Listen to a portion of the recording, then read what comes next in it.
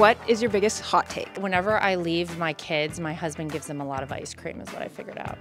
Oh. Yeah. You heard it here first. Eric Trump gives the kiddos too much ice cream. Too much ice cream. Is pineapple on pizza too mainstream? I like pineapple on pizza. I'm sorry. That Taylor Swift is the greatest songwriter and talent of all time. I think that commercial surrogacy should be banned. I think pit bulls should be illegal. I think you should go to jail if you take off your shoes on an airplane. What is the biggest misconception that people have about you? Oh my gosh. I guess because I'm so direct in how I speak and very passionate, they think I'm mean.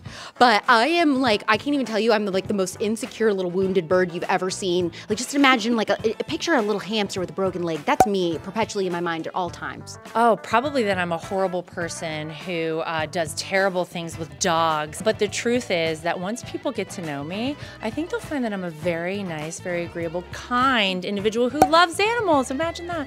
The people who can't seem to get past the headlines. The headlines, of course, they'll say anti trans swimmer calls for ban on trans athletes.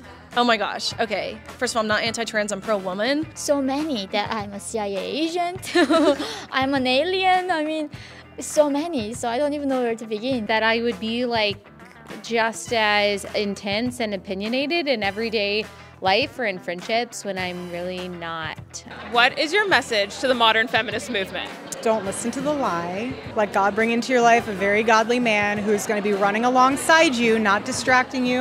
And also to like just make sure that you saturate your plans in prayer. Is that even a thing these days? Well, you should probably figure out what you are, because I don't even know what you are.